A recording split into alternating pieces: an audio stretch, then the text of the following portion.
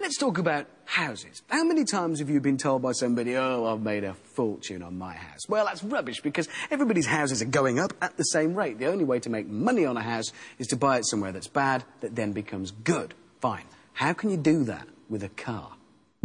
What you need is a car that's not yet a classic, but that one day will be. A kind of classic waiting in the wings, if you will. And this scheme has the whiff of genius about it. What you're looking for is a car that's young enough to still be good to drive and reliable, but old enough to have been forgotten. A car like this, the Volkswagen Corrado VR6.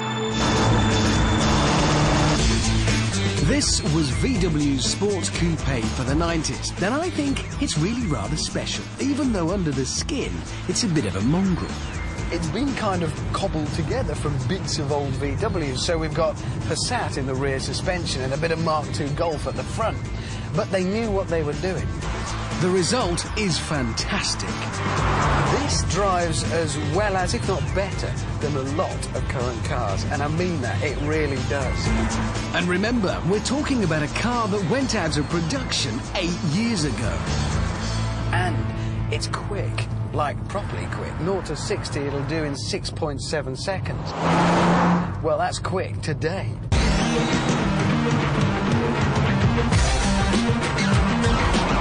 That 2.9 litre V6 up front, 190 brake horsepower it puts out. It sounds fantastic.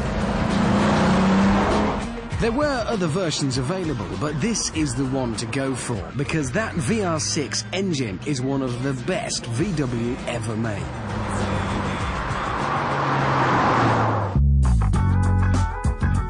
So its looks and its performance go some way towards making it a future classic. But there is another factor that's even more important. It was a complete flop. It was too expensive and nobody bought it, which means it's quite rare. And there's one more thing. It's the only 90s coupe that isn't completely embarrassing. I mean, think about it. Just what message are you sending the world when you're seen climbing out of a Calibra or a Probe or even a Celica? Not good.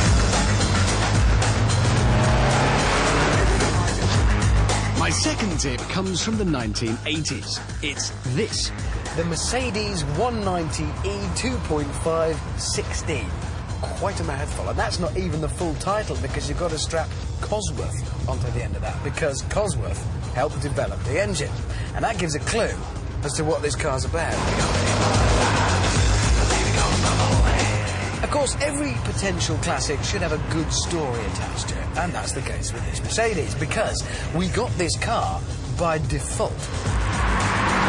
Basically, Mercedes developed the 190e 2.516 Cosworth to go rallying, but just as they were ready to launch it onto the rally scene, Audi brought out the Quattro, and that changed everything. Without four-wheel drive, the Mercedes would have been absolutely hopeless. So they abandoned their plans to go rallying and decided to produce this road-going version instead.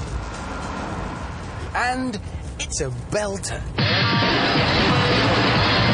It's really not an especially sophisticated car, four-cylinder engine, but it's powerful. That 197 brake horsepower Cosworth engine is very, very good.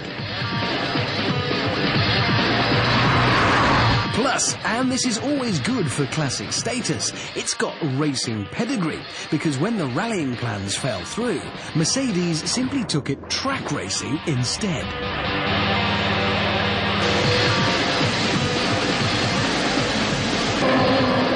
In the 1990s, it clocked up 50 wins and a German touring car championship.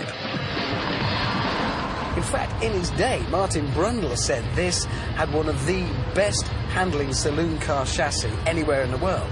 And he knows what he's talking about. This was very much the Mercedes equivalent of the BMW M3. And in truth, it really was always in the shadow of the M3. It was Cinderella, but the coach never came. But you know, that underdog factor is part of its appeal. Next to this, the BMW looks a bit, well, obvious. Tempted? Well, if you are, you're best off going for one in black or silver with an automatic gearbox, which is why I'm driving a pink one with a manual box, obviously. In a few years, these two will be proper, all the medals classics, without the beady image, the rampant engine failure, and the moss on the seats. So my advice is buy one now, before everybody wants them.